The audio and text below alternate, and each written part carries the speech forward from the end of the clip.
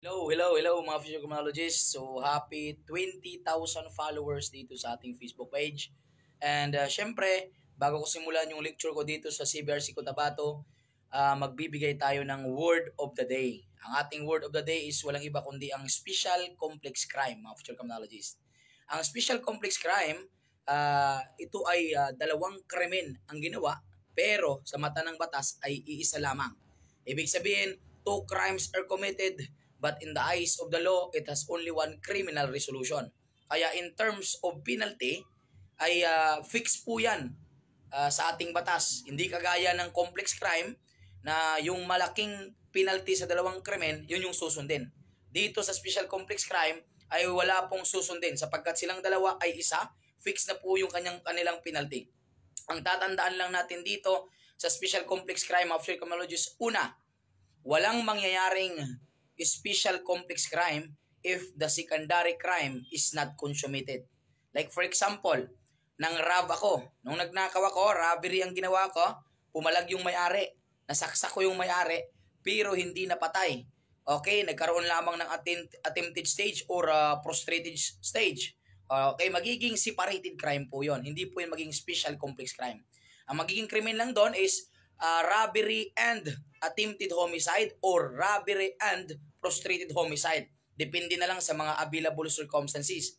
Pero, kung nagkataon na nung narab ako, pumalag yung may-ari tapos nasaksak ko at napatay, yun, that is tantamount to single indivisible offense and that is special complex crime. Magiging robbery with homicide po yon. Okay? Yun yung unang uh, ruling na tatandaan natin.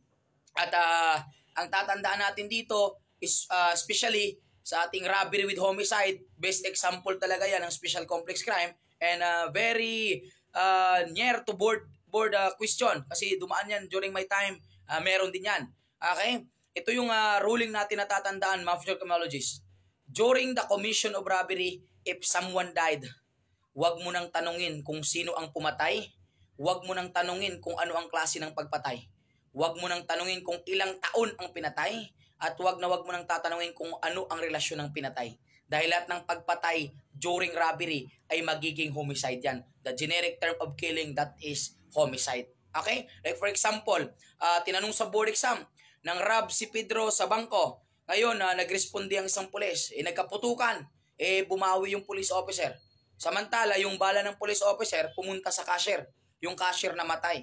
Ang tanong, what is the crime committed by the robber? Ang sagot, robbery with homicide. Bakit? Matatanong, mag, magtatanong ka, Sir, di ba yung bala galing kay police officer?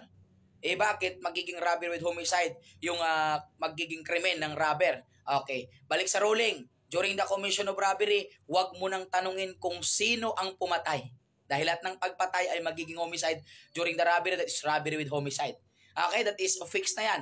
Okay, pangalawa, eh nagkataon na nang rob ako, eh nakaapak ako ng less than 72 hours, child. Eh wag mong sabihing robbery with infanticide, walang ganon. Balik sa role, wag mo nang tanungin kung ilang taon ang pinatay.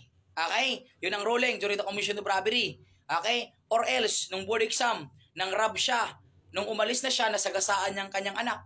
Kasi nagbumotor siya. Okay, wag mong isagot robbery with parricide, walang ganon. Balik sa ruling, during the commission of robbery, wag mo nang tanungin kung ano ang relasyon ng pinatay. Dahil lahat ng pagpatay magiging homicide yan, that is robbery with homicide.